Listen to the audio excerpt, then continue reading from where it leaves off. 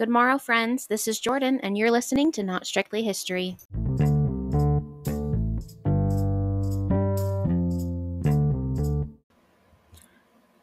Hello, everybody, and welcome back to yet another episode of Not Strictly History. Now, I was not going to talk about this ever actually. Um, and um, there's actually no reason to talk about it. It's actually a non-issue that i've created in my brain because none of you have said anything about this. Again a non-issue i've created in my brain.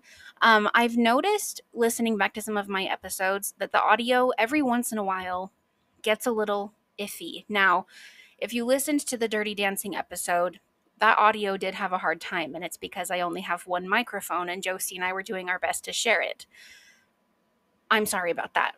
But a lot of you have said you loved that episode, which is great because I also loved that episode. So, but when I'm just recording by myself, I need you to know that one of the reasons that every now and again the audio gets a little off is because I get really worked up and passionate and I like to use my hands a lot and like move I'm like almost moving around a lot really. And um I try to like hold my microphone like really close to my mouth when I do this, but it's especially if I get really into it, it's hard to do that. So that's usually what happens. Again, I'm in the process of fixing all this. I have um, some new microphones coming. Hopefully, that will help. Again, this is probably a non issue because none of you have said anything, but um, I've created a problem with it in my brain and therefore decided to address it. Thank you. Um, once again, good day, everyone. I was going to say good morning, um, but it's actually like 2:30 in the afternoon right now. And also, who knows what time you're listening to this. So, really, I just hope that you're all having a good day. If you are, that's great. Keep up those vibes. If you aren't, well, my friend, you've come to the right place. And I don't know that I'd normally be that confident about my own work, but today's episode is even more special than every episode that I say is special, which is every episode. Today is even more special than all the specialness. So I'm going to confidently say that what we're that today's episode ought to cure any ailment you're currently suffering from. Okay. Now, this level of confidence being established, it also becomes necessary for me to confide in all of you that I'm actually really, really nervous about this episode. I mean, I'm wildly excited. Truthfully, this is probably the most excited I've been about an episode since the Macklemore episode in season one, which is saying a lot because I've been stoked for a lot of our episodes pretty much every week and I was really stoked for that episode. If you'll re- if you've been listening regularly, you'll remember that I was qu- quite unhinged in that episode. However, it is very true. I am so so excited about this episode that I can't really explain it. But since that's the reason you're here, I'm going to try to explain it. Today's topic is a very broad one, and as such, there will also be some narrowing down of the topic in order to exactly illustrate what we're here to learn about. The broad overall topic that we are here to learn about is Old English. And in order to be- better illustrate what Old English is and was, we will also be talking about what is perhaps the most famous text written in Old English, which is Beowulf. Now, don't worry, because I will be explaining all of this further. But for right now, I need to explain just a little bit why this episode is particularly special and why I'm rather nervous to be here.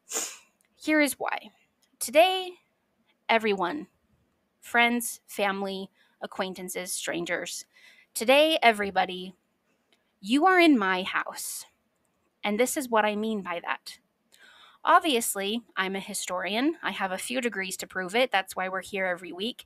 So when we come together to talk about history, I'm usually really in my element, doing my thing, having a great time. However, it is important to note that every historian has a specific field, an area of expertise, if you will. And today, we are diving into my area, Anglo Saxon England. So, simply put, Today, we aren't just talking about history the way we usually do. Today, you are coming with me to the inner sanctum of my entire operation. We are journeying together to the area of history upon which I have stamped my name. Today, I am not just sharing history with you, I am guiding you through one of my deepest passions, hence our slightly unnecessary subtitle. This is both what makes this episode particularly special and much more than usually nerve wracking. Okay, I'm really excited to finally share this piece of myself and my life and my education with you. Like, really, I, I truly am.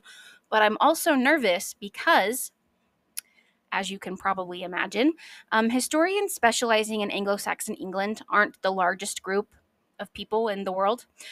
Um, but that's okay because we actually belong to a much larger group known as medievalists. And let me tell you guys, that group is lit, okay?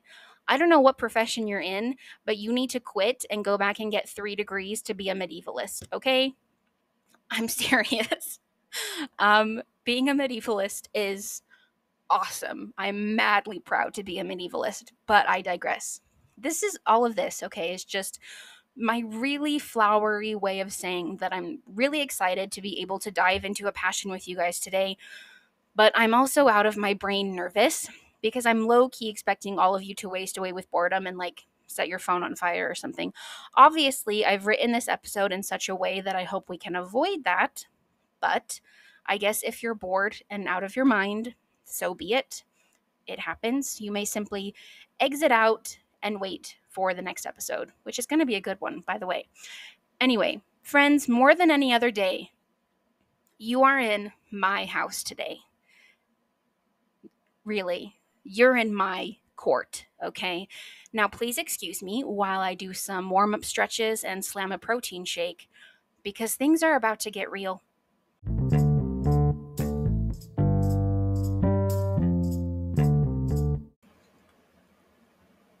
Today, I'm going to start off by talking to you about one word. Now, I'm not talking to you about this word because it has anything to do with our episode necessarily. It doesn't. I'm using this word to prove a point, and that will make sense in just a minute. This word that I want to talk to you about is the word believe, as in, I believe in you, or I can't believe this. The word believe is one that we use all the time in a variety of contexts, but what if I told you that this word, as we know it, as we pronounce it, as we spell it, has really only been around for roughly 500 years? Well, you might be asking how that's even possible and what did they say before then? And I have those answers for you, as I generally try to do. The word believes, believe, excuse me, comes from a long, long time ago. Today it has several definitions, but originally it meant one thing to have faith or confidence in. Back then, this word was not the B E L I E V E that you know and love today. Back then, the word was beliefen, or depending on where you lived in the English speaking world, it could also be gelifa, gelifa, or gelifen. It was not until the mid 1200s that people started using this term to also apply to the act of being persuaded of a truth. And it wasn't until the early 1300s that the definition the definition to accept as true was applied to this word. It is also around 300 that we see the word being used in reference to something that you think or your opinion. And at this time, the spelling was B E L E E V E. Now, if you can even call spelling common back then, which you really can't, I mean, let's be honest, that was crazy. But it wasn't until the 1600s that we get the spelling we know today. And it wasn't until the late 1800s that the phrase believe it or not was born. Crazy, right? This is a very, very small example and excruciatingly brief explanation of how words can change over time, of how languages naturally grow and evolve. So remember just a few minutes ago when I said all those really weird weird words that believe used to be. Well, everyone, those words are from the language called Old English. And it is the language that all English speakers today owe their communication to. I want to dispel once and for all the horrific, heretical idea that Old English consists of words like thou and thee. I don't know how to tell you how irrationally angry this makes me. Every time I hear people say, oh, you know, Old English, like thou and thee, the Anglo Saxon historian in me goes absolutely feral and screams, What?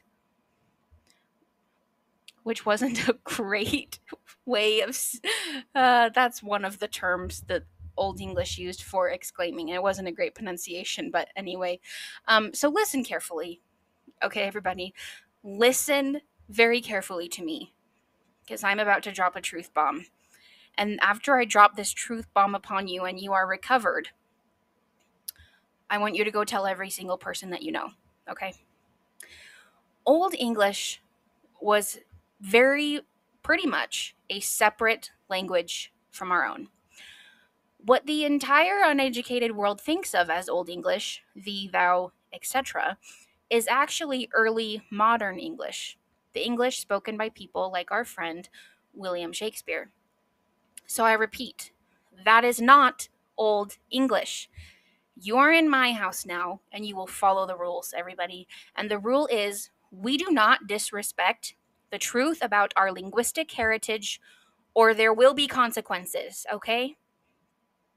Anyway, so let's talk about Old English in a very calm and rational manner, okay? Old English is the language that modern English originated from. In other words, it is the earliest form of the English language. It is also known as Anglo Saxon in some circles because it was spoken by the Anglo Saxons or English speaking peoples who inhabited Britain. It was spoken from about 450 to 1150. And fun fact many modern languages today from all over the world can trace their roots back to Old English. It's true. So here is the very brief history lesson associated with all of this. Once the Romans left Britain, the only people left were the native Celts. And I'm sure that they probably would have preferred it that way, but alas, it was not to be. In the 5th century, so the 400s, three Germanic tribes made their way across the North Sea and decided that England was a pretty stellar place and that they'd like to live there now. Same. These tribes were the Jutes, the Saxons, and the Angles. Now, this influx of Germanic people was a lot more gradual than I'm making it sound, and it happened over several generations. However, as you can probably imagine, there was no love lost between the native Celts and these new tribes. The Celtic inhabitants very much resisted the newcomers. In fact, the legends and folklore of King Arthur and the Knights of the Round Table are generally dated to this time, generally, suggesting that these native Britons were searching for a hero of some kind, which is wild. I mean, makes sense, but anyway, that's a story for another time. The Celtic inhabitants of Britain at this time obviously spoke various dialects of their native Celtic language. But when these Germanic tribes arrived, the Celts were driven from the whole of Britain into modern day Scotland, Wales, and Ireland, and some even went to the Brittany region of France. This, of course, changed a lot of things for the Celtic people, but particularly their language. It only survives today in the Gaelic languages of Scotland and Ireland, the Welsh of Wales, and the Breton language of Brittany, which are all modern variations, obviously. Now, fun fact the last native speaker of the Cornish language died in 1777 and the last native speaker of Manx, a Celtic language spoken only on the tiny Isle of Man, died as recently as the 1960s, making these now dead languages. There's something about a dead language that just breaks my heart. It's crazy. But anyway, so the tribe of Angles were very warlike, and so they ended up becoming the most dominant people in England. But all of our tribes were still there and represented, and soon enough, seven small kingdoms formed in England, making up what is known as the Heptarchy. The Saxons were in Essex, Wessex, Wessex, and Sussex. The Angles were in East Anglia, Mercia, and Northumbria, and the Jutes were in Kent. The word England or English originates from the Old English word Englaland, which literally translates to the land of the Angles, and speakers of Old English often refer to their language as Englisk. Now, listen, because I'm about to tell you something So, so, so, so, so important. Okay. Old English is a Germanic language. Let me say it again for the people in the back. Old English is a Germanic language. And what do you suppose that means? It means that English is a Germanic language. So the next time that somebody tries to tell you that English is Latin based or a Romance language or any of the crap that I have been told, you have my full permission to point at them and laugh because, um, no, it's not. Now, the reason that many people think this is because of the French influence that we have in our language. And this influence is, of, is because of something called the Norman Conquest, when French William the Conqueror conquered England in 1066 and ruined everyone's language patterns, thus making French have an impact on our language.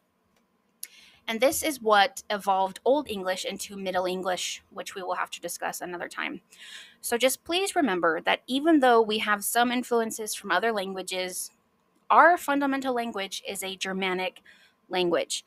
I can't even tell you in in words just the trouble that I have had trying to convince people of this until I get so frustrated I nearly shove my diploma down their throat. Not that I'm aggressive about this in my passion or anything, because that would be weird. Um, but anyway, so Old English is a Germanic language, and it does share some fundamental similarities with modern German as such. However, since it is the mother of modern English, the language is actually much closer to our own than you would think at first glance or in really hearing it spoken for the first time. The truth is that around 85% of Old English is no longer in use today, but the elements that do survive form the basis of the modern English that we speak every single day. To be more specific, even though pronunciation and spelling has definitely changed, the 100 most commonly used words in modern English are all of Anglo Saxon origin. I would put the sunglasses emoji right here if I was typing, but I'm not. Fun fact many of our modern swear words are also Anglo Saxon, and those that aren't generally come from medieval speech patterns. And I cannot stress enough how much sense all of that makes and how much I love it. Anyway, the handful of French terms that we still use are most often ones that actually harmonize well in sound and in form with English language patterns meaning that we may have adopted terms from other languages, but really only so far as they were easily incorporated with our own, which is so important to remember. We can therefore say that for English speakers, learning Old English would be a little bit easier than learning an entirely new foreign language, such as Spanish or French.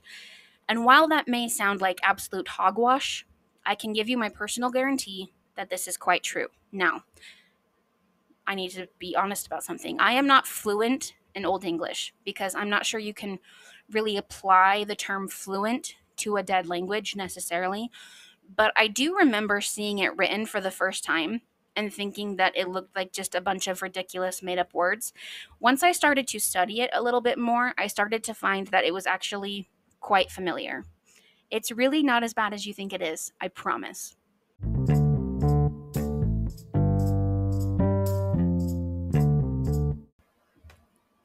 Now, I don't know why this is important for you to know, but this is the third time that I have tried to record this next section of this episode. Um, I just want to get it right, and I was about, you know what, that doesn't matter.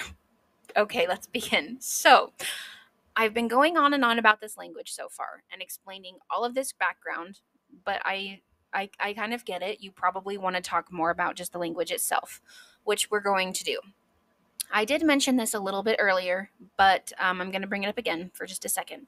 Old English is a dead language, meaning that it is no longer spoken in everyday use, even though people can speak it and read it, it's not spoken natively by anybody. Another very important fact about Old English is that a very large portion of the vocabulary centers on the glorification of warfare, which, if you think about all the people that came together to form this language, that totally checks out. Now, Remember the heptarchy that I told you about? Thank you. That is the seven smaller kingdoms that the Anglo Saxon peoples formed in England, and each of these areas spoke their own dialect of Old English. But remember, a dialect doesn't necessarily mean a ton of changes, so obviously they're all still speaking the same language. These four dialects of Old English that were spoken were Northumbrian, Mercian, Kentish, and West Saxon. And most of the writing that still exists today in Old English is in the West Saxon dialect, meaning that it formed the basis for literary standards once Old English began to be regularly used in writing, and it's often referred to as the common dialect. Now, we need to very quickly establish a sort of timeline for Old English so that you can get a sense of what we're doing here. According to Albert Baugh, I think that's how you pronounce it, he's an Old English expert from the University of Pennsylvania. You can divide Old English into three phases. The first is primitive, and this is from the 5th to the 7th centuries. There is no literature or documentation of Old English at this time, really, because there was no literacy. It was definitely being spoken.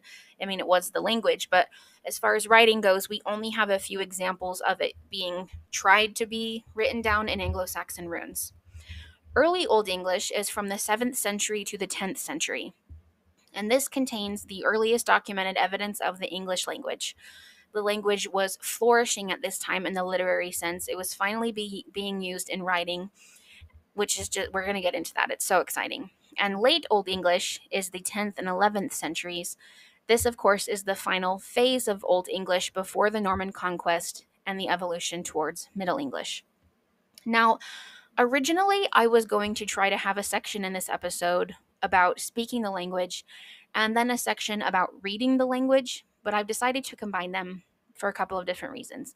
Because, in my personal opinion and experience, Old English is actually a lot easier to speak once you have the visual of the words.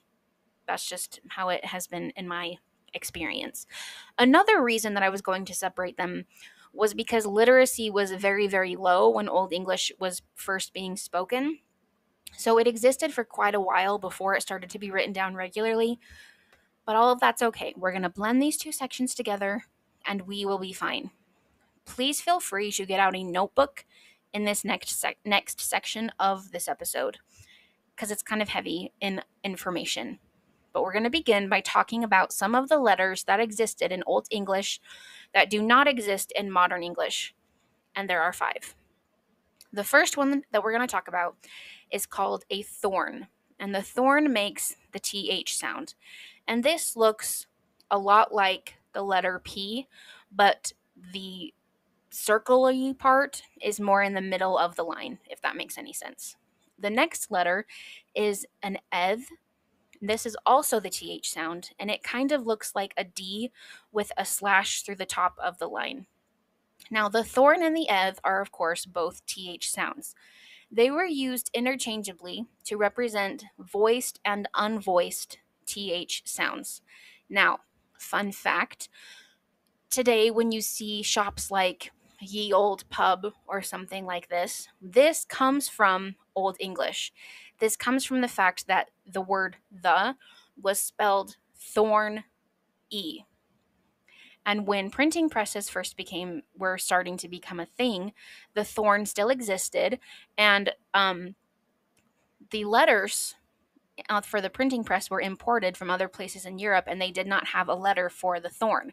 And for whatever reason, a lot of people who were printing thought that the thorn looked like a Y, so they just substituted it for a Y, making ye old instead of the old.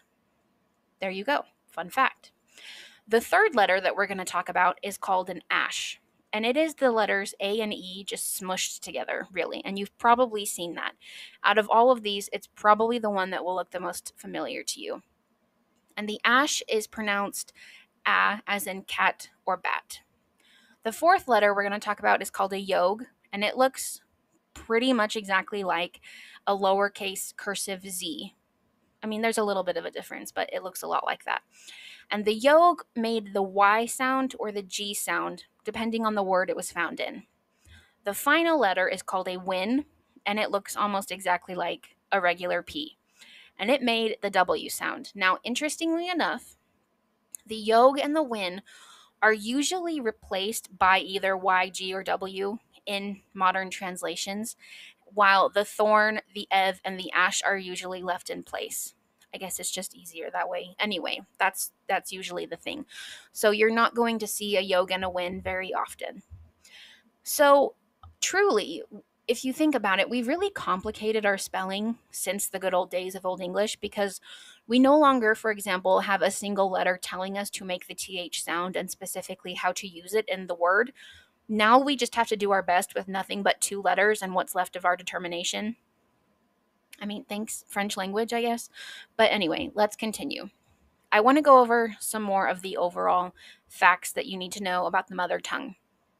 Old English, in contrast to modern English, has three genders it has masculine, feminine, and neuter, and a much greater proportion of irregular verbs than modern English. And many verbs that were strong verbs or irregular verbs in Old English are weak verbs or regular verbs in modern English. Interesting, right? The letters J and Q did not exist in Old English. So as far as spelling goes, J was often like used with a form it kind of looks like the letter I. And the sound of Q was spelled with a CW, which brings us to the next fact. The letter C always makes the hard K sound. If the letter F, as in Frank Sinatra is found in the middle of a word, it makes the V sound, but if it's at the beginning or the end of the word, it still makes the F sound. Now, the letter S, as in Sinatra, oh my gosh, you guys, I did not even plan that. This is so cool. The letter S, as in Sinatra, is the same as the letter F, um, in that if the if the s is at the beginning and end of the word it makes the usual s sound and if it's in the middle of the word it makes a z sound now the combination of s and c is pronounced like r s h sh. the combination of a cg is pronounced like the dg in edge so a j sound kind of now important this is very important the combination of ch as in cheese is not a digraph in Old English like it is in modern English. And so when you see a CH in a word, these letters have to be pronounced separately. I'm going to give you an example.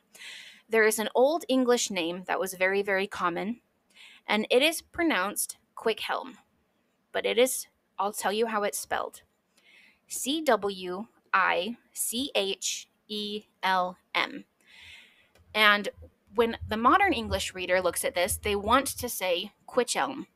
However, again, because CH is not a digraph, we have to pronounce the C and H separately, meaning that this name is actually pronounced Quickhelm.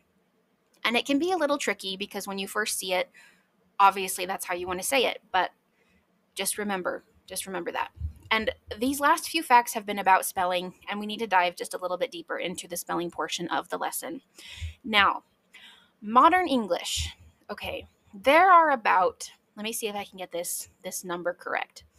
There are about 82.5 billion spelling traditions from everywhere possible that have come together in modern English to create utter chaos. Hence the phenomenon of the spelling test what was that? Anyway, but in our mother tongue, in Old English, spelling is generally really, really straightforward.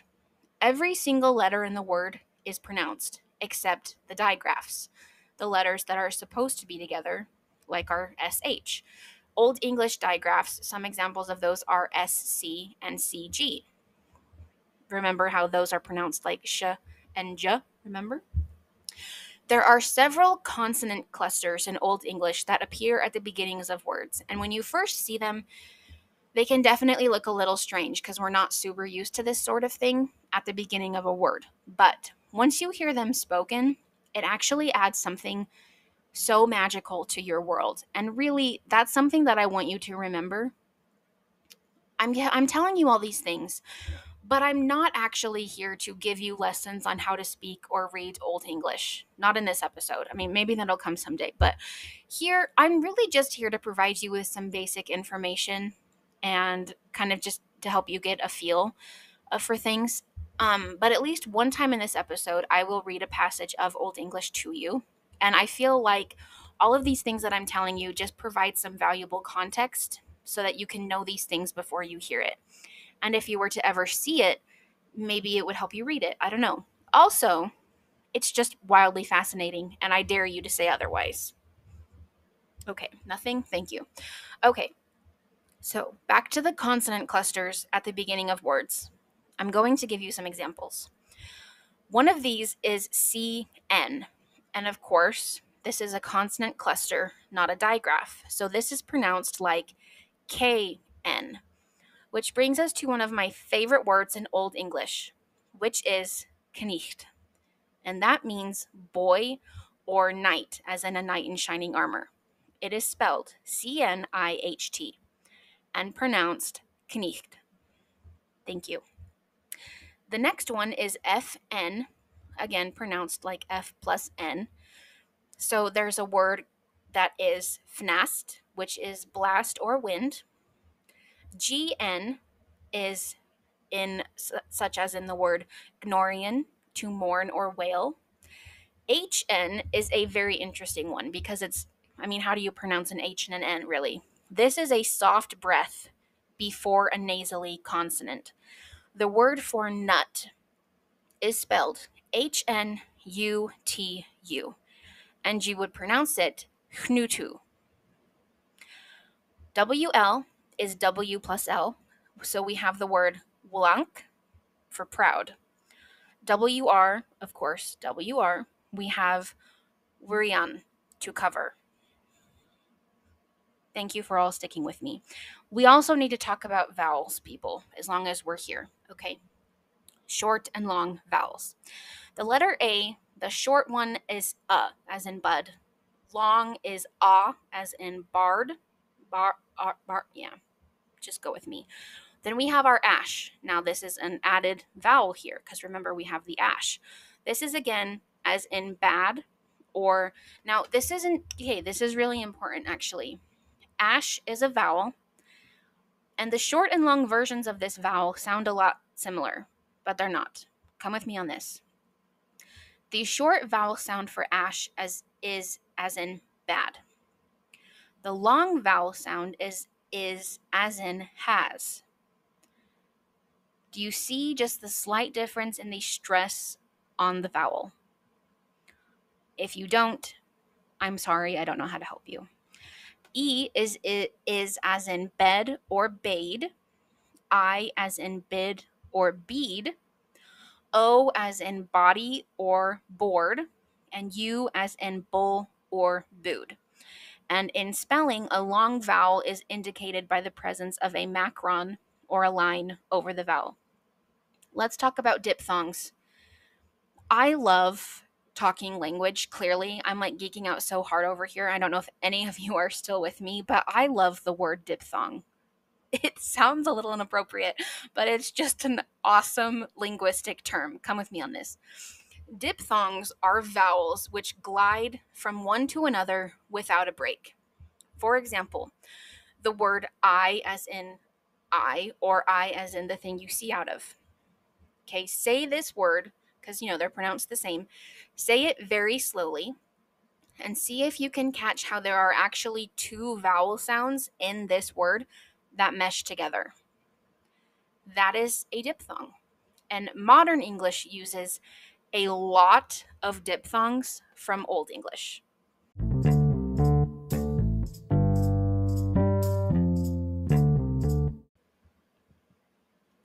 Okay, so we've talked a tiny bit about pronunciation and spelling. I know it probably didn't feel like a tiny bit, but trust me, it was a tiny bit. Now we need to talk a little bit about writing, the actual act of writing down these words, which brings us to paleography, the study of ancient writing and manuscripts, which is basically 90% of my master's degree. I am telling you guys, the things that my brain can do because it has been trained to read old documents. It's just like chef's kiss, okay? It's truly, truly incredible. I'm trying to think of a movie or something. What am I thinking of? Oh, okay. Did you guys see that movie like forever ago with Bradley Cooper? I think it was called Limitless or something, where he takes those pills that like help him use all of his brain and he gets really smart or whatever. Like a second after he takes the pills, all of a sudden he's using all of his brain and he can like see everything and like everything's coming together and it's like super cool.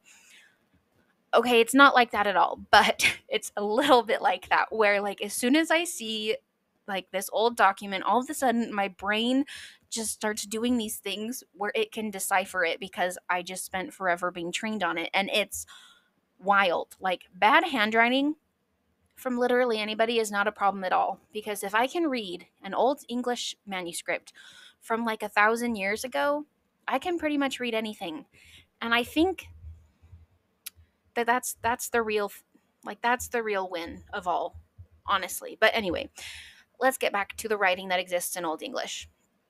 Like I explained before, literacy wasn't a huge thing at the beginning of the Old English period, and this resulted in a couple of things. First, poetry existed a long time before prose, because poetry was something that was performed. Now, in our day, we think of poetry as this poem you read in a book or something, but back then, poetry wasn't written down, it was performed and it was passed down orally. These stories were ones that you told the people that you lived and worked with at night around a fire there was usually music to go along with the poem and it was it was done by a performer who specialized in these things. So poetry existed a long time before written words because it was just such a different thing than we think of poetry as today. Also the actual writing styles that were used to write down old english also went through quite a bit of an evolution. Originally, if Old English was ever attempted to be written down, it was carved using the alphabet that the Anglo Saxon people knew, which was the runic alphabet. Think wood and stone, right? They're trying to carve this on wood or stone and in their runes, and this alphabet had between 26 and 33 letters. Later, during our middle period, when Old English began to be written down and used as a written language, Christian missionaries had already made a big impact in England and they had introduced the Latin alphabet that's very similar to what we use today. What's important about this alphabet is that it, it the appearance of it is just a lot more rounded, and thus it's more suited to being written down on parchment or vellum. It's not this alphabet with sharp angles like is easier to carve. We're writing it down and therefore it's it's just frillier swoopier swirlier. There's some synonyms for you. So anyway it makes sense that once people started writing old english down they would want to use letters that were easier to write. This shift really started around the 8th century so the 700s there came actually there actually came a time when runes were really only used by the antiquarians and historians of the day, which is very intriguing. So if you'll think back a little bit to our Old English timeline, it was in the 7th century that writing really started to pick up when it came to Old English. So this is the 600s. This is when we get the very first literary works in Old English. Because remember, poetry arose first because it began with a cultural thing that you could pass down orally. Well, it's because of this that poetry is considered the heart of Old English literature because it had existed for so long before and then it was finally able to be written down. So, this is very important. Poetry is very important to Old English literature. Here's a very, very crucial fact, my friends we only have about 400 surviving manuscripts written in Old English, which works out to be a total of about 3 million words. And before you think that this sounds like a lot, let's compare it to some of the great writers that we know. Charles Dickens, for example, all of his works combined are over 4 million words. So the fact of the matter is that we really don't have a lot of data from this period to of linguistic history. And even though this language was spoken for roughly 600 years, and it was used in writing for more than half that time, we just don't have a lot of information. But we do have enough to allow us to make a confident description of the linguistic character of Old English and to plot its evolution to Middle English. Again, we'll discuss Middle English another time, but that development is mostly characterized by some vocabulary and grammar. The very first known written English sentence. This is crazy, guys. The very first known written sentence in English is an inscription on a gold medallion found in Suffolk, England. And it dates from about 450 to 480. So, long time before Old English is like really being used to write things down. The inscription reads This she wolf is a reward to my kinsman. I would love to give you more information on this and on the medallion, but I don't really think we have it. I just need you to know that if you're a native English speaker, the very first written sentence in your language is This she wolf is a reward to my kinsman. And I want you to carry that legacy with you for the rest of your life. And again, remember, this would have been in runes, which is even better. So let's talk some more about Old English literature. So we're in the 6 slash 700s right now. Okay, runes are being switched out for the rounded Latin alphabet.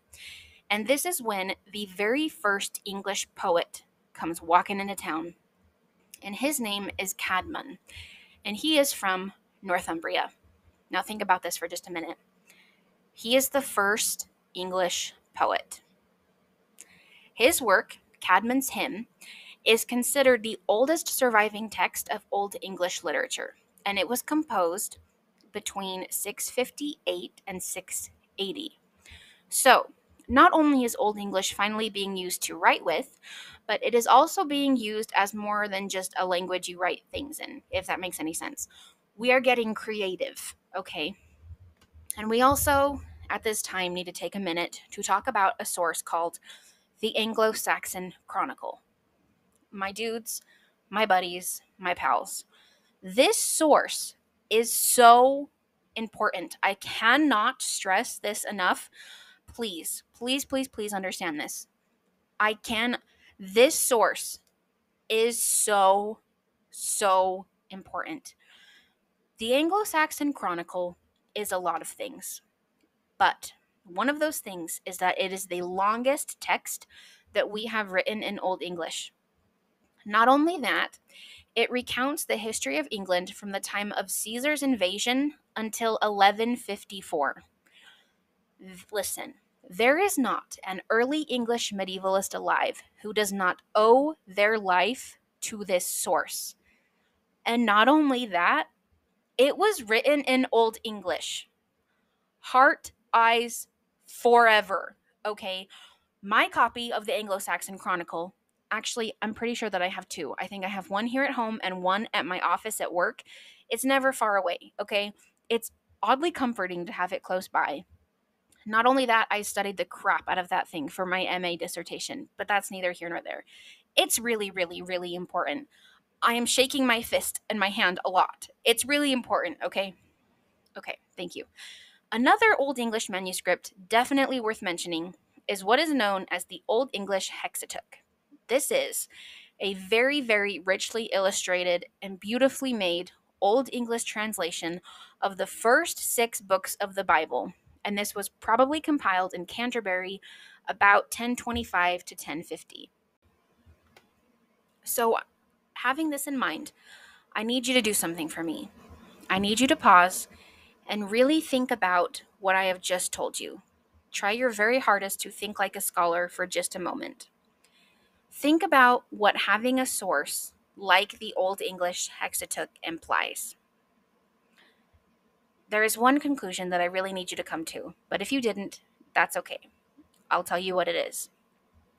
The fact that Old English began to be used in writing not only for normal things or for things like poetry, but for things like the Bible is actually a really, really, really big deal. Because let's talk about vernacular languages for just a minute, okay?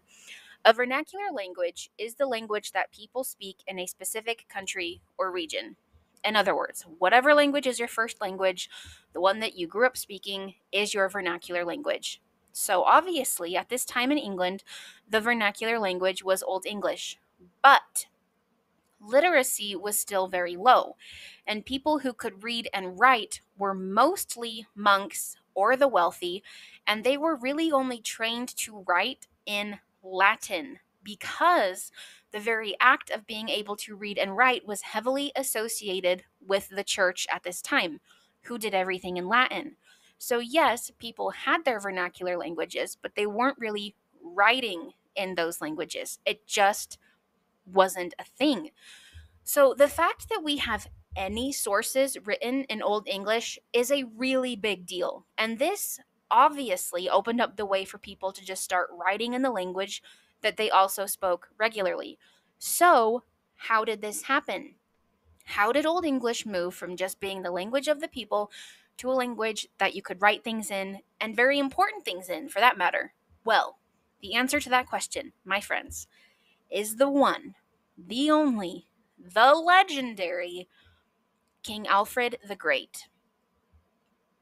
And yes, I will most definitely be doing a separate episode all about King Alfred one day because that man was incredible and I am a huge fan. But for today, we're going to quickly cover some of the basics because he is very important to this story.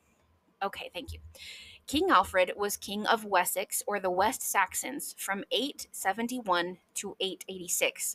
He was then king of all the Anglo Saxons from 886 to his death in 899. Because, yes, this icon of a man basically united the Anglo Saxon kingdoms. Many people actually consider King Alfred the first king of a united Britain, and of course, we'll have to get to all of that some other time. But for our purposes today, the main thing that you need to know about King Alfred is that he was the kind of king who not only cared about his people, not he cared about their well-being, but also about their growth and their advancement. King Alfred believed firmly that his people needed to be educated in their native language, not Latin. And my friends, this was absolutely unheard of. People did not simply go learn in their vernacular language. It was not a thing. If you went to go learn, you went to be tutored by a monk, probably, and you learned in Latin. That's just the way that it was But King Alfred, the freaking great, decided that the people needed to be learning and reading and writing in their own language. He decided that it was very, very important. And if you look a little further into Alfred's life, which of course we'll get into another time, it really, this passion that he had really makes sense. Like I mentioned before, he united the Anglo Saxon kingdoms, and he did this against the invading Vikings. He spent a very good portion of his kingship saving his people from Viking invaders and Vikings overtaking them in general. So it makes sense that he was really passionate about his people and about preserving their way of life. So, not only did King Alfred decide that it was super important for his people to be educated in their own language, but he took a lot of very unheard of steps to make sure that this happened. For example, he personally did several translations of important works from Latin into English. King Alfred is truly, he's honestly revered by many, many today as having pretty much single handedly saved the English language from destruction. By the time of his death in 899, he had raised the prestige and scope of the English language to such a high level that it was arguably superior to any other vernacular in Europe at the time. I don't even know how to sing praises big enough for this, okay? The fact of the matter is, we owe a huge, huge debt of gratitude to King Alfred the Great because his encouragement and support of the vernacular language did a lot of things. Obviously, it made English a pretty big deal at the time, but also, Alfred's reign is when we see this first great period of literary activity in England. That is what made it even more important. Like when you realize that this literature was being written in the native language. I truly do not know how to express to you how important that is. Once people started writing things down in their own language, this is when we start getting creative works as well as more ordinary works. So not only is prose being written down in English, it's finally becoming a thing, but all of that poetry that had been performed and passed down orally for generations and generations was finally being recorded in the way that people had been hearing it for centuries.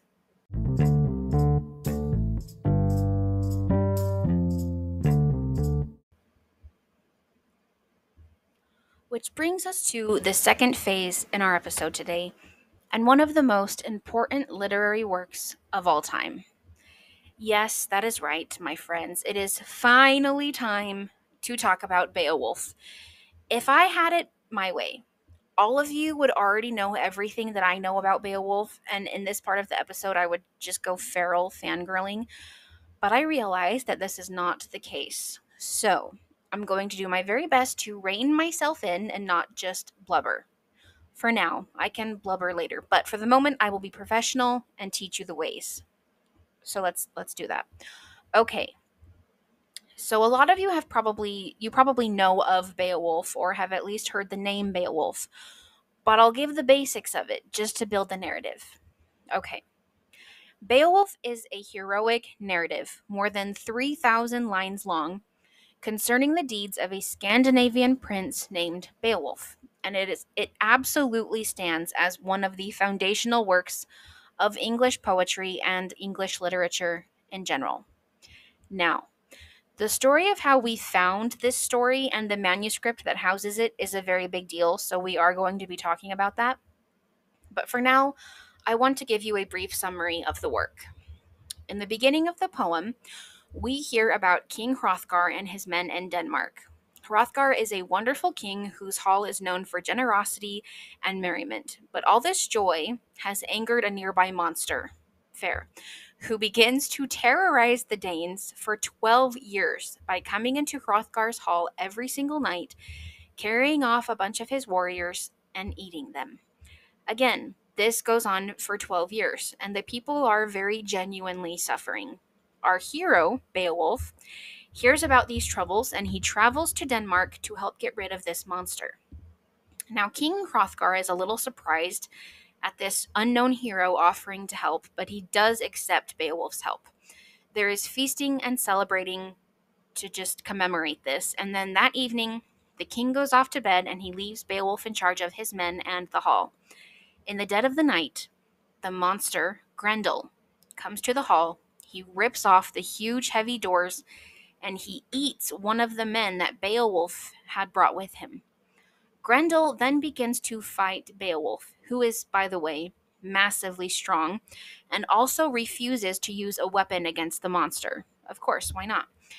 He gets a hold of Grendel's arm, and he holds on so tightly that Grendel can only get free of him by ripping off his own arm. He then retreats from the hall and goes back to his swamp, trailing massive amounts of blood everywhere, and then he dies in his swamp, probably of blood loss. And Beowulf then proceeds to put Grendel's arm on display for all of the people to see. Now, the next day is one of great rejo- rejoicing, as you can probably imagine, and a feast is thrown in Beowulf's honor.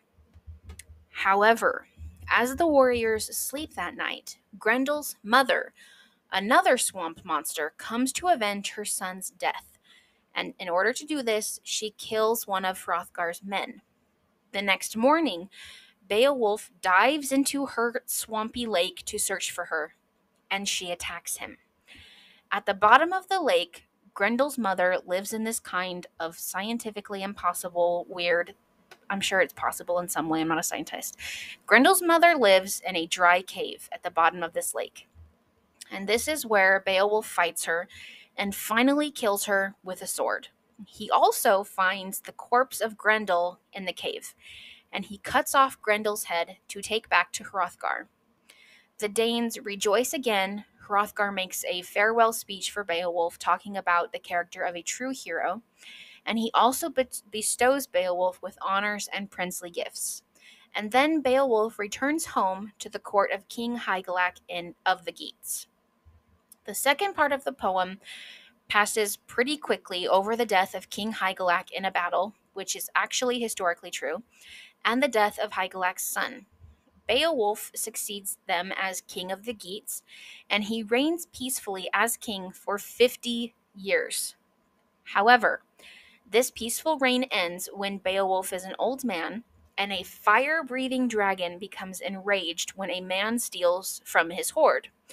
The dragon then begins ravaging Beowulf's kingdom, and the ever incredible Beowulf decides to fight this dragon, even though he knows he will probably die because he's gotten old. So he starts fighting this dragon, and this fight is very, very long and very, very terrible. Which is a very stark contrast to the battles that he engaged in when he was young and much stronger. The battles with Grendel and Grendel's mother didn't last long. He was an incredible warrior, he was strong. He just, I mean, he just took care of it. It's not the same anymore because he's become an old man, and it's it's made known in the poem that it's that's quite sad. So during this fight, not only all that, but during this fight, he is also deserted by all of his men except for one young kinsman named Wiglaf, who does come to his aid. Eventually, they kill the, the venomous dragon together. However, Beowulf is mortally wounded from a bite in his neck. Before Beowulf dies, he names Wiglaf his successor. After his death, he is cremated on a funeral pyre, and his remains are buried in a barrow that's built beside the sea. The people then mourn the death of this wonderful warrior and their beloved king, and they also express their fear that without Beowulf, they might be invaded by nearby tribes. And there you have a fairly decent summary of the story, Beowulf.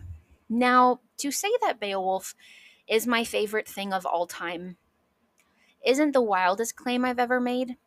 I remember hearing about it when I was really, really little and my older siblings were in high school. I remember them having to read it uh, um, for class and talking about it briefly. But all I knew from that com- from hearing that conversation was that it was really old, that it was a story that was really old. My next interaction with Beowulf didn't come until college, actually, when I was taking the best class known to man, medieval British literature, taught by the one and only Professor Darren Merrill. Shout out to you, sir. You're incredible. Anyway, now, I could definitely do an entire episode. Uh, uh, I'm always saying this. I could always do an entire episode on that, but I could, okay? I could do an entire episode on just how amazing that class was, but I'm not going to. That's not why we're here. I'm going to summarize. Learning about Beowulf and Anglo Saxon society in that class was absolutely life altering. This class, combined with a class that I took a little bit later on the 100 Years' War, cemented my future as a medievalist. But Beowulf and the history of Anglo Saxon England just really got under my skin. I'm I'm just not sure how to describe it any better than that. I remember saying afterwards to ask my professor extra questions. I remember sitting in my apartment at night and just poring over the Beowulf story and spreading papers all over the floor, teaching myself Old English pronunciations. It really did truly change my life in every way. And so, to this day, and probably forever, unless something truly insane happens, Beowulf is my favorite book. Now, just so we're clear, okay, there are about 10 billion and five different editions and translations of Beowulf, and every single one of them has merit because Beowulf's incredible. But the one that I prefer is by Irish scholar Seamus Heaney. And I love it because it has the modern English side by side with the Old English. And there is no better way to look at the differences and similarities in the languages than that. Beowulf is my comfort book. When times get hard, I keep it close by or I'll pull it out and read it. Truly. My mom actually, I've a handful of times I've just pulled it out and read it to her on hard days. And um, she always makes me read it in Old English, which is good because I get rusty, but it always makes her cry to hear it in Old English. And it, it honestly makes me emotional too, because that's the way that it was meant to be heard. Which brings us to something that we haven't talked about yet, and we'll just touch on very lightly accents. Accents are, of course, really important in any language. And when I learned how to pronounce Old English and speak it and all of that, I was taught a very specific accent by my professor. I have since heard it spoken in various accents, but for the most part, I think the accent that I was taught is mostly correct, which is good because I'm really not here for having to change that. It happened already.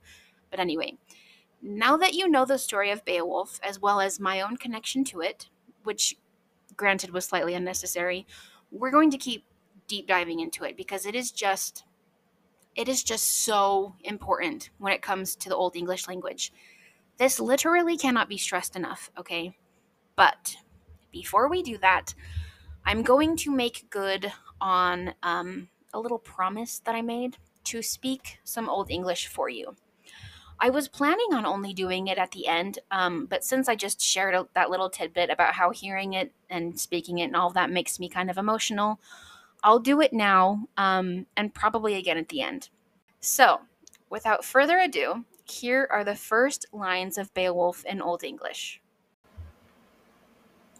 What, Wed Gardena in Gierdegum, Ther Kuninga, Thrym Gefrunon, Hu tha Athalingas Ellen Fremedon, oft skild skefing, Skedena Threatum, Monegum Magthum, Meda Setla Oftia, Exoda Ealas, Sidin Arest Weda, Feaskieft funden Hidas Frofra Gebad, Weox under Wolknum, Weothmindum Tha,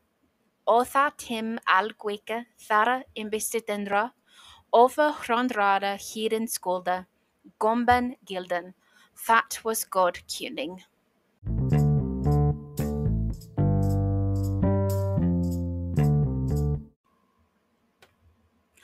So, I hope you understand just a little bit better what I mean when all these when it comes to old English.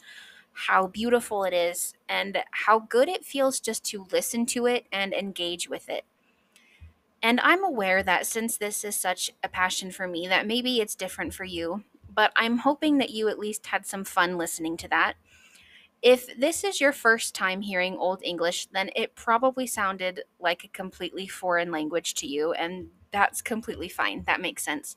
But if you listen carefully, there are several words that you either know or that do sound familiar. So I obviously encourage each one of you to get your own copy of Beowulf and read it because it's beautiful in every single way. But again, my favorite edition is the one by Seamus Heaney, so I highly recommend that one. And besides the fact that you can see the Old English and Modern English side by side, I just think that he does a really great job in his translation. And as if it could get any better, he wrote an absolutely beautiful introduction to the work. And it is just, it's really, really important to realize that Beowulf is an epic story that comes from a lot of different places. It's about a Scandinavian prince and it mentions Danes and Geats, but it was written in Old English by English scholars. The culture in Beowulf is really important. The idea of the warrior society, of fighting and or dying nobly, it's all in there. There is a very distinctly Germanic culture in Beowulf, and it has been claimed by several different countries because of that. But here's the thing we only have one copy of Beowulf, just one. Without this one manuscript, we would have never known about Beowulf. Beowulf and his story are not mentioned in any other surviving sources. But because it is from Anglo Saxon England and written in Old English, I think it's incredibly fair to say that anybody who is a native English speaker can claim this story as part of their heritage. And if you're like me, a person whose DNA is strictly Scottish, a tiny bit of English, and Scandinavian, then you can really claim this story as your heritage.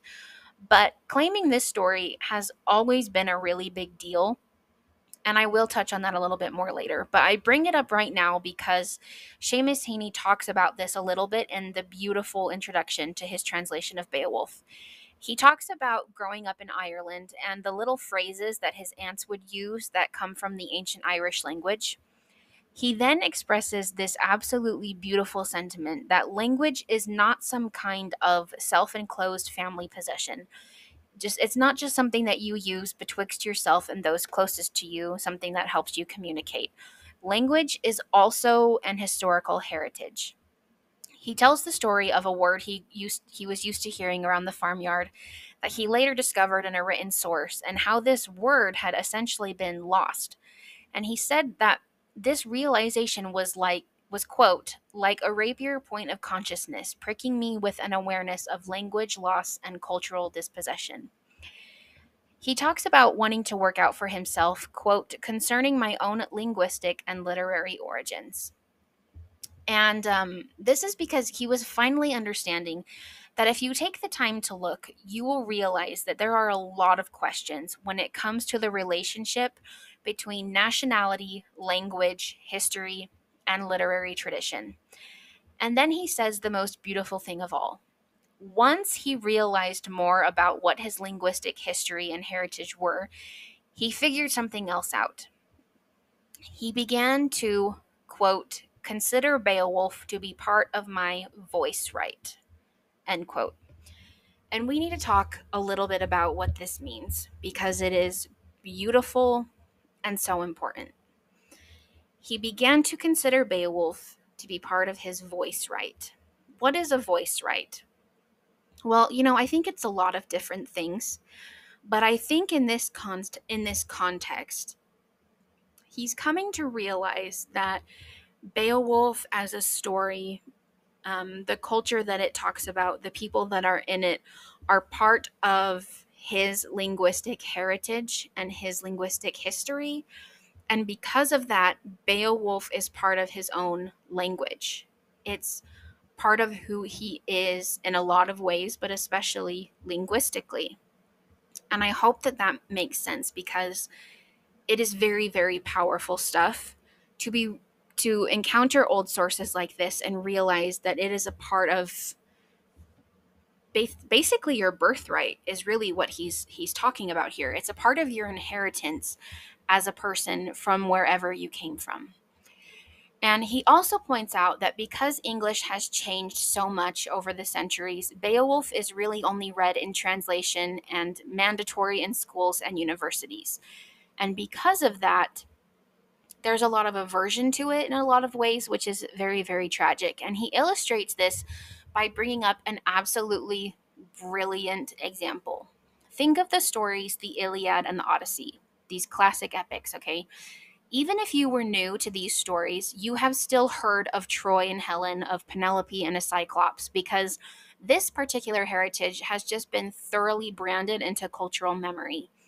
The words and stories from these particular epics are therefore much more familiar to us than the very first epic of our own native world and native language, which is Beowulf, even though it was composed centuries after the Iliad and the Odyssey.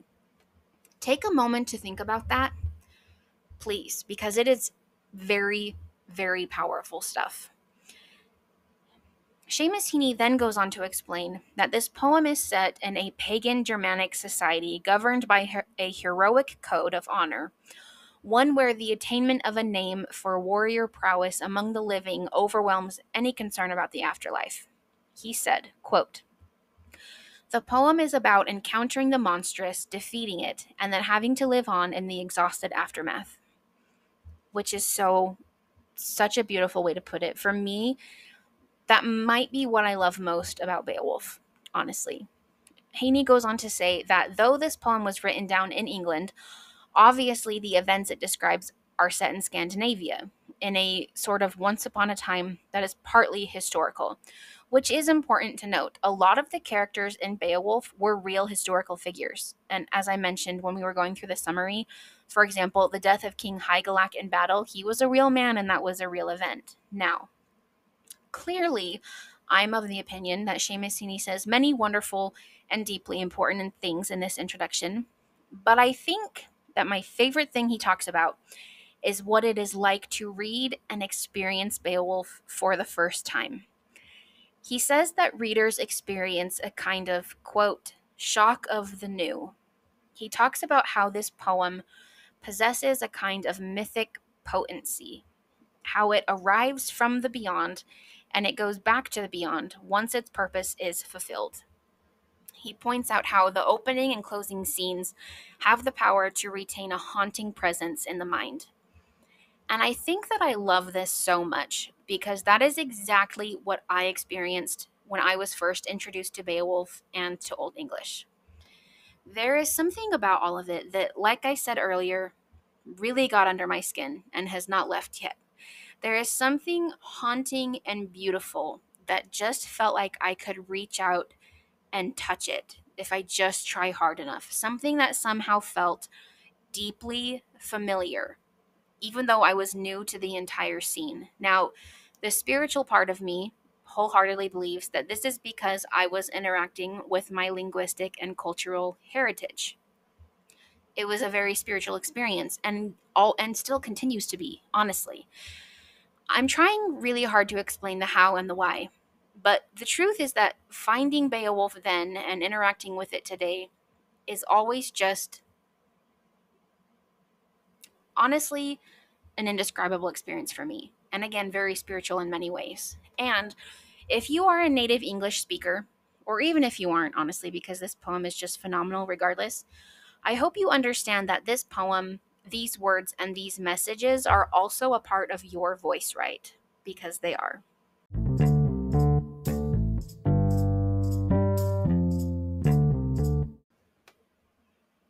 All right, so earlier in this episode, I promised you that we were not just going to talk about Beowulf, the story itself, but we were also going to talk about the Beowulf manuscript because it is incredibly important and that story is absolutely wild. Well, the time has come. As I mentioned earlier, we only have one, that's right, one extant or existing copy of Beowulf, and it is contained in a work known as the Nowell Codex. For those of you who don't know, a codex is the term for an ancient manuscript that has since been bound into book form. The Nowell Codex is named after the 16th century scholar Laurence Nowell. This man was a very renowned scholar who was hired in the year 1563 to be a tutor to Edward de Vere, 17th Earl of Oxford. At the time, Edward de Vere was the ward of one William Cecil, the first Baron of Burghley. We are fairly certain that William Cecil gave the codex to Laurence Nowell while he was working there. But before Laurence Nowell, we really don't have any clue where this manuscript came from or who owned it or what its life was like. Nothing. The Nowell Codex itself contains a few different works, actually, not just our beloved Beowulf. The first work is a fragment of the life of Saint Christopher, the next is called Wonders of the East. It is a description of various far off lands and their fantastic inhabitants. There is also the Letter of Alexander to Aristotle, Beowulf, which is the bulk of the volume, and finally Judith, which is a poetic retelling of the Book of Judith, which is a book in the Eastern Orthodox Bible, but one that Protestants largely regard as apocryphal. Now, interestingly enough, there has been a vast amount of scholarship on why all of these things are bound together. Because back in the heyday of all of these manuscripts, it wasn't really a thing to just, it, honestly, it wasn't really a thing to bind things together, but definitely not together willy nilly. So it's a big, like, it's a kind of a big deal. Like, why are all of these together? There is a pretty widespread theory that they are all collected together because they either feature monsters or monstrous behavior. And while I appreciate the attempt to explain one of the great mysteries of the Nowell Codex, I just don't really buy it. It seems a little weak. It seems a little foggy. It seems a little murky. I'm not here for it, but that's okay. Let's get back to the manuscript itself. Now, we are pretty sure that the Beowulf manuscript was written between 975 and 1025 AD. Even though this is the date of the manuscript, scholars generally agree that the poem itself was first composed around the year 700. And the manuscript itself is assumed to be a copy of a copy, suggesting importance, use, and demand. Also, it's it's very unadorned. Okay, the manuscript is not gilded or decorated in any way, which points to there being a very practical use for it, such as being used to perform. The manuscript that we have today was transcribed from a different copy by two different scribes. One of these scribes wrote from the beginning of the of, of the poem all the way to line 1939 before breaking off mid sentence. And do you want to know why? Well, I do too, because we don't know. This man wrote he wrote down 1,939 lines of Beowulf and broke off mid sentence. Did he die? What happened? I have questions. There are no answers. Welcome to the field, everybody. So, scribe number one. He made a point to carefully regularize the spelling of the original document into the common West Saxon and he did this by removing any features that had become old and unused or that were too heavy in another dialect. Scribe number two obviously wrote down the rest of the work. There is a very noticeable handwriting difference after the mid sentence break off in line 1939. And he also seems to have written much more energetically and with less interest. In other words, he was really not as careful, okay? Consequently, scribe number two's script retains more of the older dialectic features, meaning, I mean, it's clearly not professional on his part, okay? He didn't do any of the correcting that scribe number one had already done. However, this has allowed modern scholars to assign the poem a cultural context, which is important, okay? Both scholars, excuse me, both scribes appear to have proofread their work but it still contains quite a few errors, which is understandable, very common for the time. Scribe number two is ultimately considered to be the more conservative copyist, as he did not modify the spelling of the text as he wrote it or anything like that. He simply copied down whatever he saw in front of him. I don't know why I'm like slightly turned off by this. Maybe because scribe number one was trying so hard and scribe number two was like, no. I don't know, but that's just the way it is. So, as we talked about a few moments ago, the way that the Nowell Codex is currently bound, Beowulf is followed by an Old English poem called Judith. This poem was also written down by scribe number two. Clearly, it's the same handwriting. And the wormholes that are found in the last leaves of Beowulf are actually absent in the Judith poem, suggesting that at one point, Beowulf was the last work in the volume. Also, the rubbed appearance of some of the leaves suggests that for a time the manuscript stood on a shelf unbound, as was the case with many Old English manuscripts, unfortunately. So, our knowledge okay, this is an this is an interesting little tidbit. Listen. Our knowledge of books held at the Library of Malmesbury Abbey, as well as the identification of certain words particular to the local dialect that are found in the text, have led some scholars to suggest that the transcription may have taken place there at Malmesbury Abbey. To be honest, I need to look more into this. I cannot officially put, I mean, add my own scholarly stamp to this claim. However, I would love for it to be true. I'm totally here for all of those facts checking out because, as you have clearly seen, there is still so much that we don't know about this manuscript and about the poem in general, honestly. So I would love it. I would just really get a kick if we could solve some of the mysteries. I think that would be neat.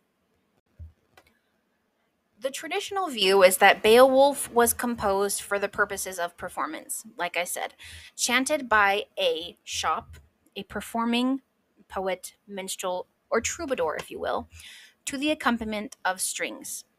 The whole thing that some modern scholars suggest is that perhaps it originated as a piece of written literature bar- borrowed from oral tradition, which is kind of the same thing. So I'm actually irritated by this whole thing. And we actually don't have time to get into all of that, so let's get back on track.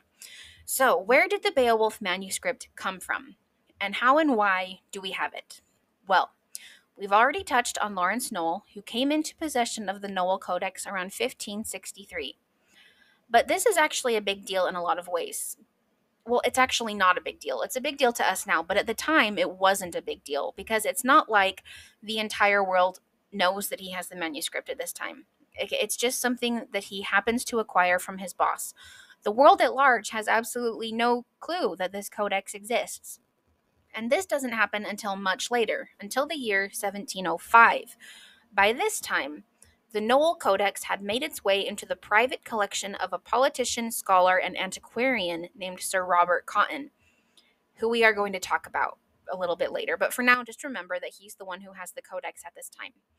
In 1705, a man by the name of Humphrey Wanley was in the library of Sir Robert Cotton cataloging all of the manuscripts that were housed there.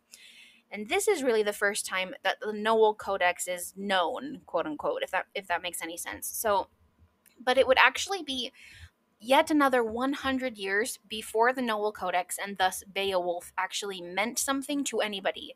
Before Beowulf became, quote, the touchstone of Old English literature. So, since we know that the present manuscript was created around the year 1000, scholars have commented a lot on how the manuscript actually lived in, quote, complete obscurity, if not anonymity, for 700 years. Think about it. The poem was transcribed for the first time in 1789, and some of the verses were translated um, into modern English in 1805. But this complete obscurity that scholars have talked about didn't really disappear until 1815.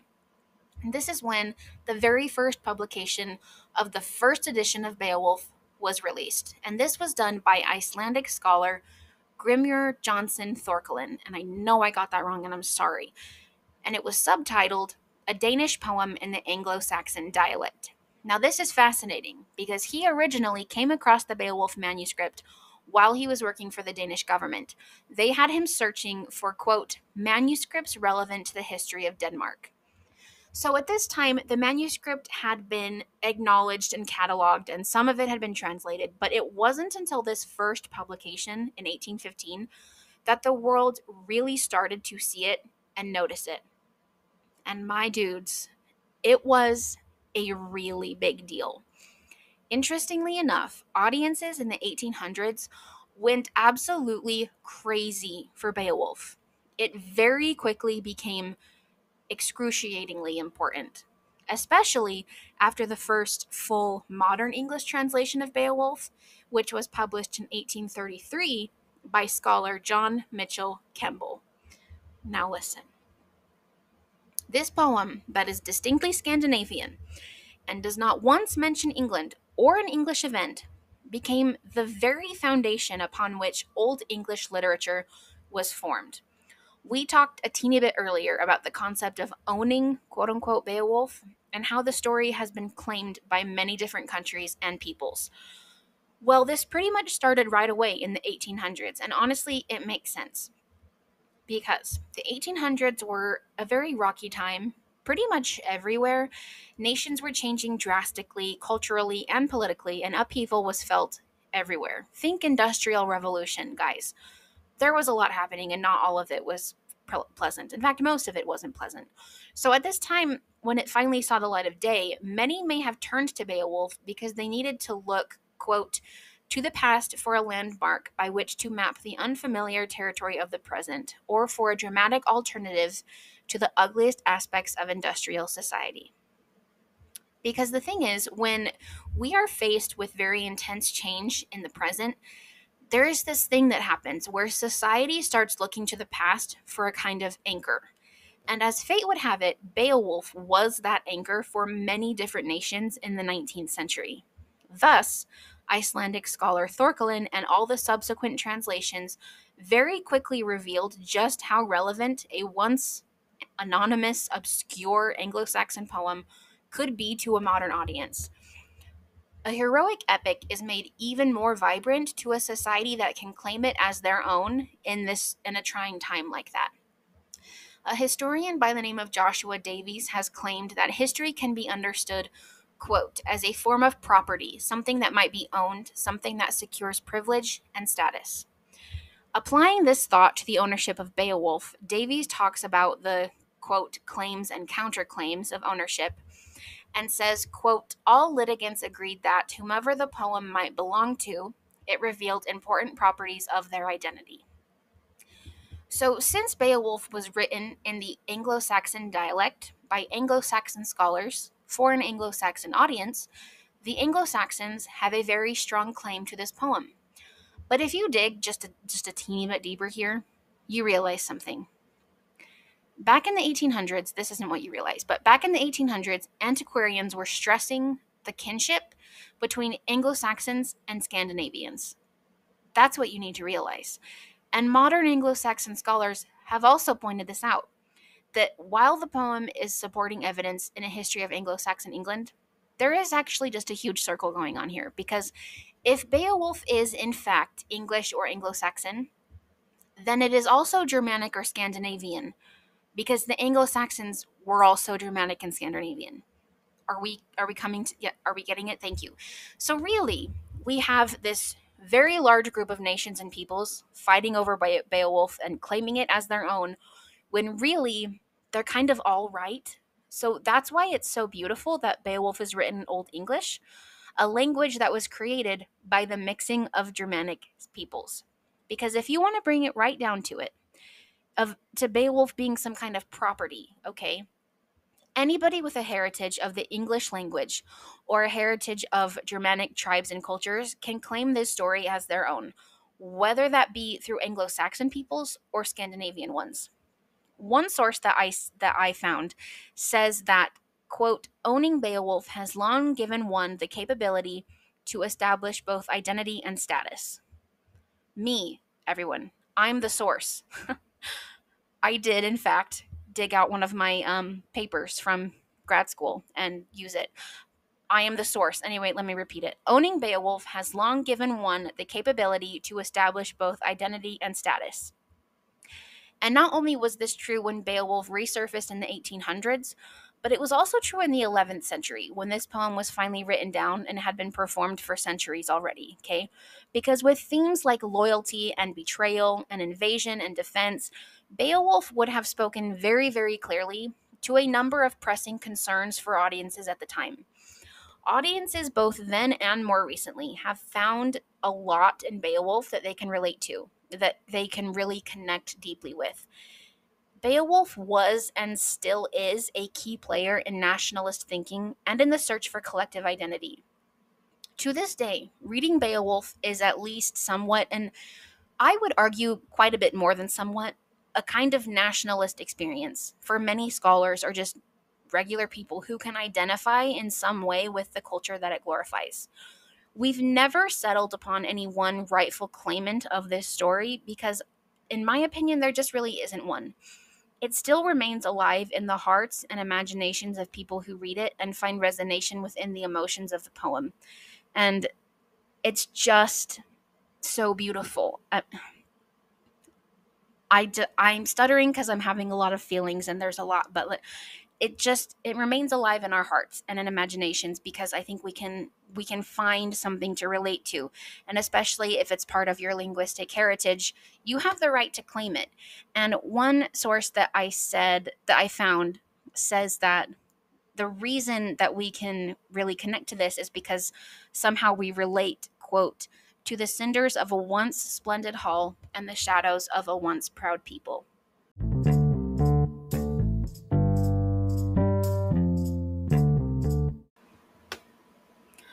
So, at this point in our episode, we have talked about a lot of things. I know this episode is very, very heavy on the information load. Different from other episodes. And maybe it's like this amount of specific information I'm giving you. I don't know. I understand that information wise, this episode feels really heavy. I did try to warn you about that, but it's okay. We're all here and it's great. So, in the last little bit, we've talked about the Beowulf manuscript and the impact that it made once the words saw the light of day. But something you probably did not know is that these words almost didn't see the light of day and that was semi recently in the history of the manuscript. Which brings us to Sir Robert Cotton. You may remember that I mentioned him very briefly earlier. He was the one who had the Nowell Codex in his possession when it was cataloged in 1705. And we need to dive a little bit deeper into this section of the story because it is very important and, and honestly, it's quite insane. So, let me give you the briefest explanation possible to get this rolling, okay? In the 1500s, when King Henry VIII decided to divorce his first wife and create a whole new church, this involved a process called the dissolution of the monasteries, which was essentially just him getting rid of all of the monks and all the monasteries and everything Catholic. When this happened, the vast libraries and documents that the monasteries had held forever began to be distributed among various owners, and many of them did not understand their cultural value. Basically, they didn't necessarily want to lose all the contents of these libraries, so they were just kind of handing out texts to various collectors and people who were not really trained in any way to understand them or to take care of them, but at least they wouldn't be destroyed. Sir Robert Cotton was different from all of these people because he was a scholar an antiquarian, and a bibliophile. He, okay, so Sir Robert lived from 1571 to 1631. He was also a politician, and in the course of his life and his career, he collected and bound over 100 volumes of official papers. So, because he actually had the skill set and the resources to find these important documents and purchase them, he was able to preserve them. And he created this wonderful library. Okay. He also went to law school. He studied under various antiquarians and classic scholars. So this guy is not just some rich dude with a hobby, as is often the case in things like this. Fun fact he was actually rewarded his knighthood in 1603 for a work that he wrote supporting King James VI of Scotland as the successor of Elizabeth I, Elizabeth I on the British throne, which is pretty neat. So we know that he had started this process of collecting and preserving manuscripts as early as the age of 17. And in no time at all, his personal library began to rival and then surpassed the other great collections in England, like the Royal Library, for example. So, Sir Robert's collection is important for many, many reasons really, we should do a whole episode on him and his library. Shocker. But one of the reasons that his library was and is so important is because it had the only existing copy of several works, not just Beowulf. He also had the only existing copy of Sir Gawain and the Green Knight. So, like, thank you so much, my dude.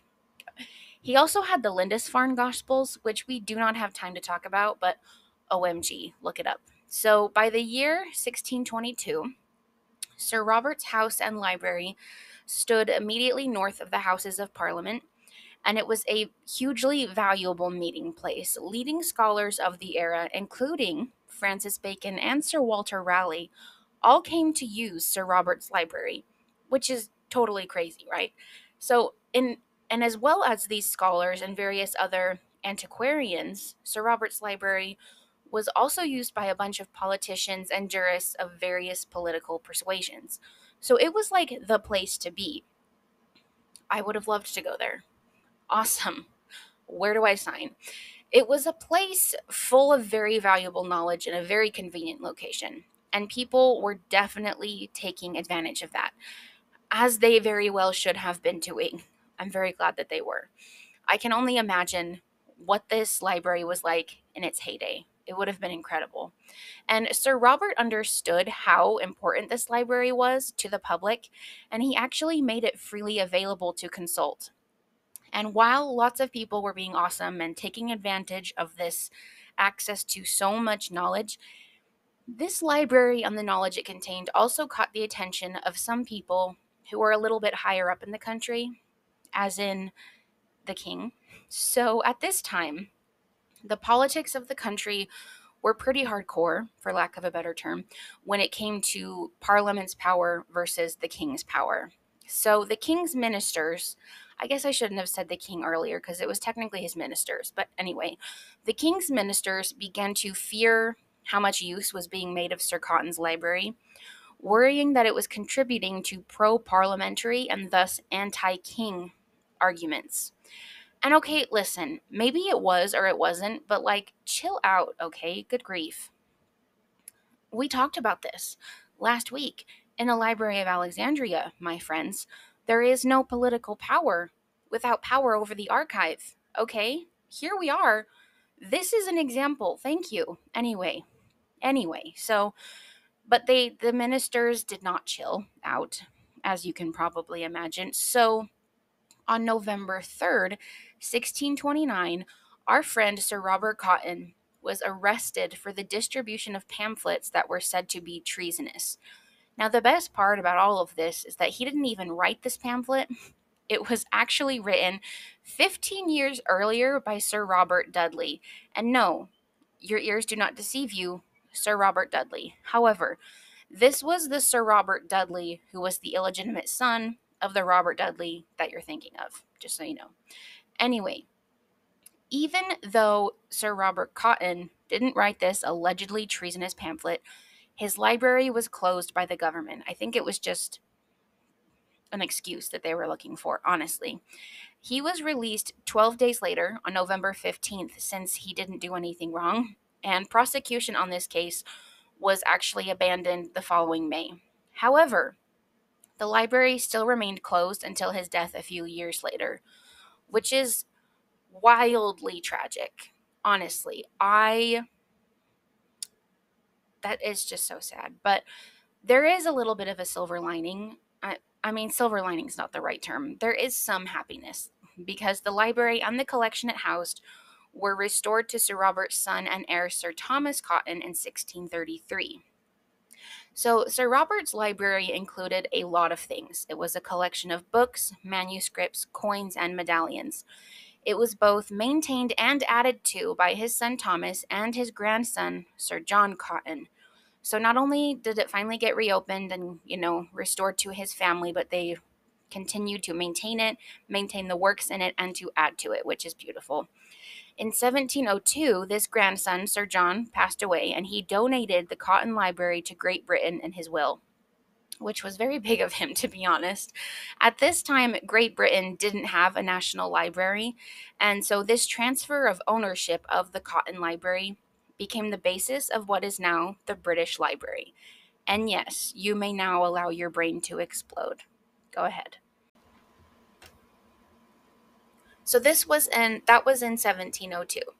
In 1706, the British Museum Act was passed, and this act did a few things. First of all, it established the British Museum. Secondly, it allowed the trustees of the Cotton Library to move the Cotton Library collection from the Cotton House, which by that time was ruinous and falling apart. And the site of the Cotton House is now um, is today covered by the Houses of Parliament. So they moved the library's collection to um, Essex House in London, but that didn't last long because this place was regarded as a huge fire risk. So it had to be moved again, and it was finally transferred to Ashburnham House in London. From the year 1707, Ashburnham House was the location of the Cotton Library as well as the Old Royal Library, which was a collection of about 2,000 manuscripts that had been collected by various sovereigns of England over the years. What I wouldn't give to have access to that collection, like, holy moly. Anyway, not only was Ashburnham House um, the place where all of these priceless manuscripts were kept, these two great collections, but it was also the residence of the keeper of the king's libraries. And I cannot stress enough, like, how do I get this job? Keeper of the king's libraries? How do I get this job? Who do I have to kill? Like, what do I have to do? Tell me. I want to know. I want this job so badly I want this job. I don't even know if this job still exists. I might have to go back in time. Anyway, keeper of the king's libraries. At this time, that was a man named Richard Bentley, and he was a renowned theologian and the- theolo- theologian. That's better. Theologian and classical scholar. Oh my gosh, guys, I am hysterical. The next line in my notes says, But your leg, oh no, it's caught in a bear trap. Which, which basically is just me saying um, things are about to get hairy. So, what happened next was that on October 23rd, 1731, a fire broke out at Ashburnham House. And yes, feel free to weep at the very sad irony that that is, because the whole reason the collections were there in the first place was because the first building had been considered a fire hazard. So that's great. Many, many manuscripts were lost in the Ashburnham House fire, at least 25% of the cotton collection alone, which is heartbreaking. And at least 200 of them faced severe damage from the fire as well as water damage. Um, they, I mean, they survived, but there was severe damage. So Richard Bentley, our keeper of the King's Libraries, he somehow escaped the fire unharmed, but he was holding an absolutely priceless um, manuscript called the Codex Alexandrinus, which is a manuscript of a Greek Bible written on parchment. I love it that that's what he chose to save, but like I also get it. If you're in a, a library like that and it starts burning down, what do you grab? I'm pausing because that's a really big question. What do you grab? Let me know what you would grab. I want to know. Um it's just anyway. Okay, so this horrible fire happens. What now? So, not all of the manuscripts were lost, which is a miracle. Somehow the fire was able to be stopped. But again, a lot of manuscripts faced a lot of damage. So, a man by the name of Arthur Onslow, he was the Speaker of the House of Commons and he was one of the statutory trustees of the library. He decided to direct and personally supervise this program of restoration. Now, this is insane because for like so many reasons. I don't even know if I can get into how crazy that is, but again, a lot of the manuscripts had been damaged, but we're in the 1700s. So restoration is pretty limited at this time. However, Arthur Onslow was very proactive about this and he did everything he could to establish a really great program for restoration within the resources that they had. And they published a report of this work, which is majorly important now because now we kind of know what manuscripts there were. So that's really exciting. And copies of some of the lost works had been made, but many of those that were damaged, you know, there's a lot here, but some of them could not be restored until the 19th century. So about 100 years later, um, which is very sad. But today, advances in multispectral photography, guys, the modern world is pretty cool sometimes, okay? There's this thing called multispectral photography that has advances in it that are such that imaging specialists at the British Library can scan and upload images of previously illegible early English manuscripts that were damaged in this fire. And it helps us to be able to decipher them. And all of this project is led by a woman named Christina Duffy. And this whole project will form part of a collection of something called the Fragmentarium. And the Fragmentarium will be a digital research laboratory for medieval manuscript fragments. It is an international collaboration of libraries and research institutions to catalog and collate vulnerable manuscript fag- fragments, making them available for research.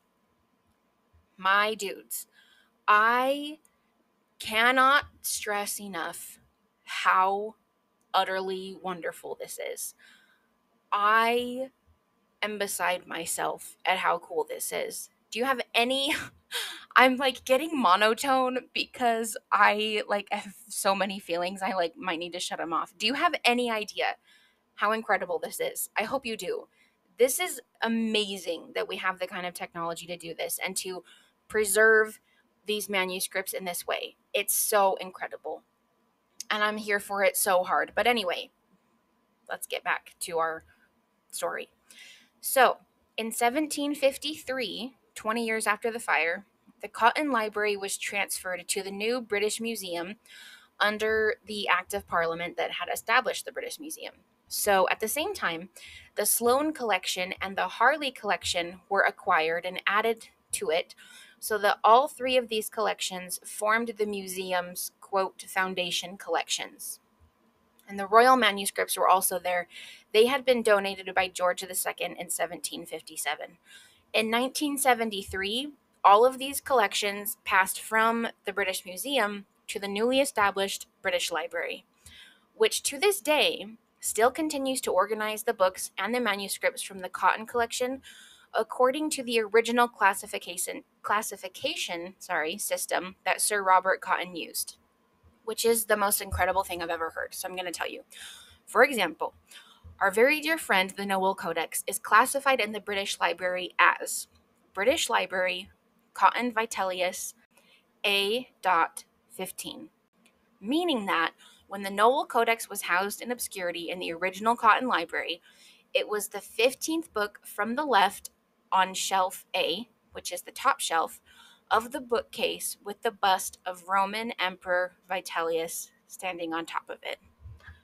And that, my friends, is what I call a classification system.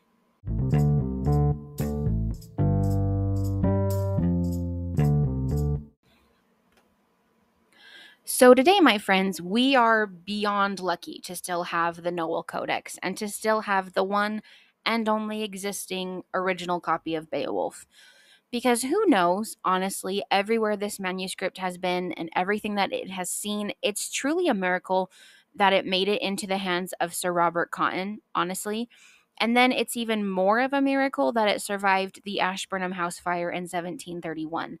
The manuscript was damaged in this fire. The margins were heavily charred, and today some of the writing on the outer edges is lost to us. But it's fine because um, I would rather take that over losing the whole manuscript. And we do still know what those words were because that damage wasn't irreparable until later, um, and the manuscript was transcribed. So we do know what all of the words were.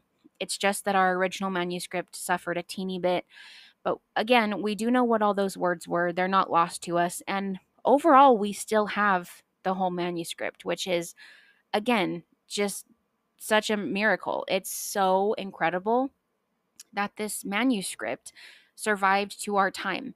And now it's incredible that we have countless translations and editions of it so that we don't have to worry about it being lost unless something truly crazy happens. But that's a story for another time, probably. And I find it not only just like so beautiful, but also incredibly fitting that this marvelous collection, this cotton collection that the Nowell Codex was a part of, is now one of the foundational collections of the phenomenal British Library. I could spend an hour talking about that alone. That is so amazing. And I just I'm I'm so grateful and I think it's so incredible. So, my friends, I now have some news. We're at the end of our episode, and I just want to say thank you very, very much, just in general, but also if you're still here with me. I'm aware that this episode was a lot of things, but mostly just me kind of trying to like shove my entire degrees into your brain in a very short amount of time. But that's because, like I said at the very top of the episode, this is something that I am very, very passionate about, as I'm sure you could tell listening to it. So, truly, truly, thank you so much from the bottom of my heart for being here and for listening to all this and for learning with me.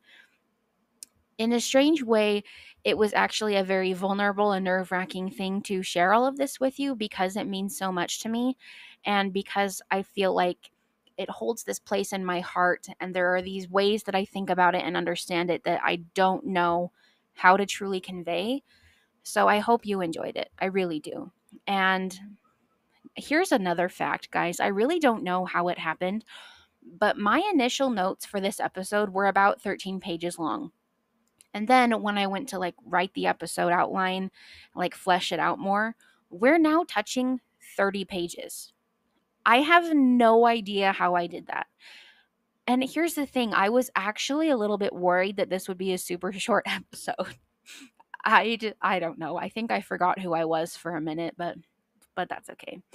So, this is the part of the episode where I would usually do my very best to just like quickly summarize and recap what we've learned, what I hope you've taken from our topic and but I actually can't do that in this episode. I really really want to, but I can't. And because there's just too much in it that is really close to my heart. So, really, I can only hope that you felt and understood my passion for all of this throughout the entire episode. And I hope that you've taken many, many things from this episode. Truly. I would like to officially end this episode by further keeping my promise of sharing some Old English with you. So, right now, I will say thank you so much, everybody, for hanging out with me today. You can follow me on Instagram at not strictly history underscore podcast. You can send me an email at not strictly history at gmail.com if you want to be a part of the conversation, request an episode, anything like that. I have also enabled listener support on my podcast. If you're feeling like you want to support or donate or anything, that would be crazy wonderful. But that is available for you to do. That will be in the description box. And also um, on like the what am I trying to say? Like the profile of my podcast. Anyway, thank you everybody for being here with me today. Um, I look forward to our next episode. And um, I'd love to hear from you. So let me know how you felt about things today and and all of that. And without further ado, here are some of my favorite lines from Beowulf. Lynn habende nege liathnis world guth fremendra gerwe newison magagemedu nefri ek amaran giesia eola offer eodon thona is erwesum. Sejon sierwum. Nis that seldguma webnum geoeodad nefni him his welita leoga. Anlik ansen. Nu ik eowa scale see you next time everyone